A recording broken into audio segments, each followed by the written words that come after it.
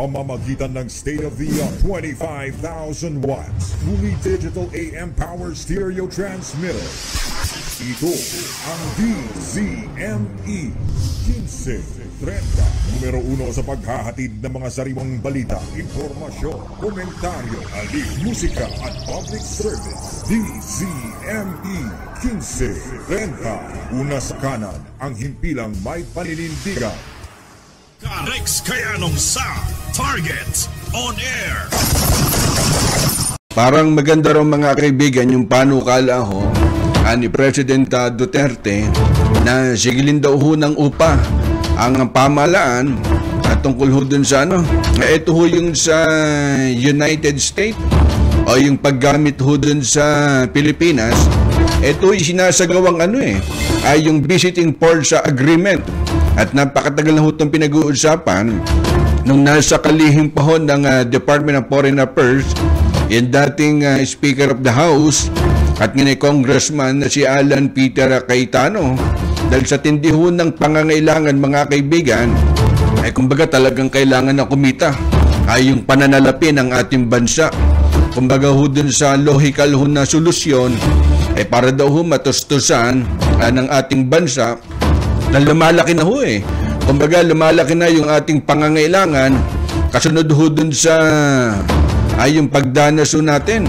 Ah, dito ho sa COVID-19 na pandemic halos lahat ho talaga. Kumbaga dapa. Halos lahat ho ng negosyo. At ito ho nakikitang solusyon.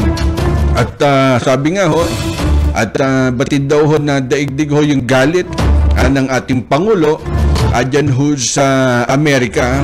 At yung ah, paglipat ay sinasabing alyansa natin uh, dyan ho sa Amerika at tungo ho sa China. At marami nga ho nagsasabi eh pagka daw ho China ang pinag-uusapan eh kumbagi talagang uh, ka-frequency uh, ng uh, palasyo ho ng Malacanang. At uh, hindi na ho bago ho yan. Akong uh, China pag-uusapan eh talagang uh, dikit. Uh, dikit na dikit ho yan uh, sa ating uh, Pangulo mga kaibigan.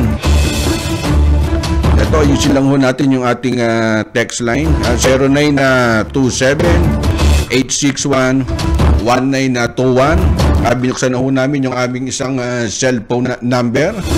At ang hindi ko ho maunawaan eh kung bakit daw hindi daw pinoprotesta eh sinasabing eh pang-abuso uh, ng China uh, dyan ho sa West uh, Philippine Sea.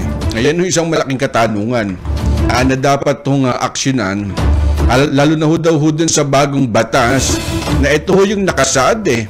Na kahit daw ho aling bansa eh kumbaga ya, pagka daw ho napadpad adun daw ho sa mga naturang karagatan eh kumbaga titirahin an yung mga barkong ah, pandigma an ng ah, China. At ah, engineer kalikutin mo nga yung remote ng aircon at ah, sabi ng isang texter natin eh malamig ba dyan sa studio mo Karex? Ah, ito hong ah, ay yung ah, BFA yung mga kaibigan eh kumbaga kapwa ho responsibilidad ah, ng US at saka ho ng Pilipinas. Ito sinasabing shared responsibility. Ayun. Ay, pagka ho ganyan eh hindi ko ho mag-iinit eh. Ah, kaya ho dapat daw ang pamalaan ho ng Amerika. Eh kumbaga dyan ho sa Pilipinas na kung gagawin ho ito ang military base ho mga kaibigan kumbaga ito ho yung magiging agreement ah, ng dalawang ah, bansa. At uh, gayon pa man eh kumbaga eh, hinahalin tulad ah, ni Vice President ah, Lenny Robredo. Yung sinasabing eh, pangingikil o yung paghingi ah, ni Pangulong ah, Duterte ng bayad ah, mula ho dun sa US para daw ho dun sa pagpapatuloy yung sinasabing aktibidad. Sa ilalim ho kasi ito eh anong visiting uh, sa agreement. Eh parang gawain daw ho yan ng isang ah, kriminal dahil aniya kumbaga eh, nakaangkla. Ay sinasabing eh, visiting sa agreement mga kaibigan eh naman ho, depensa lang ho yun ani Vice President ah, Lenny Robredo at ah, sabi nga ho niya kumbagay ah, benefits o kumbagay ah, yung Pilipinas at US hindi daw ho sa pera. Maging si Pinga Lacson, eh tutol ho yung mama ho dito. Kasi nagugat ho itong ah, termination ah, nitong ah, at visiting ports agreement mga kaibigan eh, matapos yung kansilahin, kung familiar ho sa inyo, inansel ho kasi ng US ang visa ho ni Senador Bato de la Rosa. At kumbaga ho doon bumuelta at nagalit ho doon si Digong sa ginawa ho kay ah, Sen Bato de la Rosa. Kaya bigla hong, ah, kumbaga yung bilang ho ng protesta. Kaya nga inaprubahan ho agad yan yung termination ah, ng BFA di ba't minura pa nga ho ng ating presidente ang ah, US dahil masyado raw hong bastos. Ay kumbaga hindi ho yung ka-frequency eh, ah, ng ating Pangulo ay ang ah, US mga kaibigan. Kaya marami naman ho nababahala uh, dun ho sa sinasabing ah, sa pag-terminate ah, ng ah, BFA ho mga kaibigan. Kaya marami naman daw ho nagawa. Ang nagawa ho sa bansa ang ah, BFA at hindi lamang ho yung pagbigay ho ng bagong kaalaman kagaya ho dun sa Philippine troops kundi ho pati daw ho dun sa pagtulong ah, sa mga biktima ho ng kalamidad eh talagang to the rescue eh kumbaga naandyan ho yan at ah, marami daw hong nagawa ah, sa bansa ho natin ang ah, visiting ports ah, agreement at ah, kumbaga hindi lang ho gaano pinag-uusapan ho yan kaya hindi raw ho sana ito ibinasura. Eh kumbaga napakabilis ho kasi ay yung pagbasura. At may nagsasabi hindi Karex eh nakikinabang din ho ang bansa ho natin at dun ho sa mga ibinibigay ho na armas at saka ho barko. Nandyan ho helicopter ho ng US and tanong Karex eh ngunit eh binawi ho yan ah, ng ating ah, Pangulo kaya itong ah, visiting ports sa agreement to mga kaibigan, eh napakatagal na hong usapin ho yan.